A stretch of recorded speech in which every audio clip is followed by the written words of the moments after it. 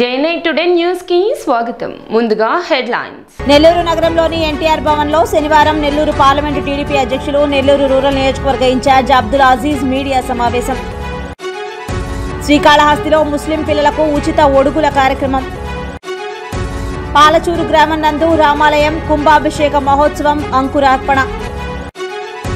నెల్లూరు నగరంలోని బారా షహీద్ దర్గాలోని ముసఫిర్ఖానా ఎదురుగా టీడీపీ నేతలు నిరసన కార్యక్రమం. బారా షహీద్ దర్గాలో రాజకీయ వేదికగా మార్చడం సిగ్గుచేటని పెద్ద ఎత్తున నినాదాలు చేస్తూ నిరసన.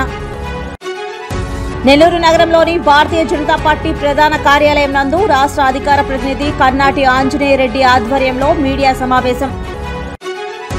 ప్రభుత్వంలో అమ్మబడి నాన్న బుడ్డి జగన్ రెడ్డి బ్రాండ్తో విచ్చలవిడిగా అమ్మకాలు జరుగుతున్నాయని నాటుసారా తాగటం వల్ల ప్రజల ఆరోగ్యం చెడిపోతుందని వ్యాఖ్యానించారు మాజీ ముఖ్యమంత్రి నారా చంద్రబాబు నాయుడు. సేవా దృక్పథంతో అనేక మంది అనాథలకు ఆశ్రయం కల్పిస్తున్న స్ఫూర్తిదాత తాతపూడి ప్రసన్న విజయ్ కుమార్ అని మంత్రి వేణు అన్నారు. రంగంపేట మండలం వెంకటాపురం గ్రామంలో శ్రీ ఉమా రామలింగేశ్వర స్వామి ఆలయ శంకుస్థాపన కార్యక్రమంలో పాల్గొన్న అనపర్తి శాసనసభ్యులు దంపతులు. ఎరుక కులస్తుల ఆత్మీయ సమావేశంలో ఎమ్మెల్యే డాక్టర్ సత్తి సూర్యనారాయణ రెడ్డి.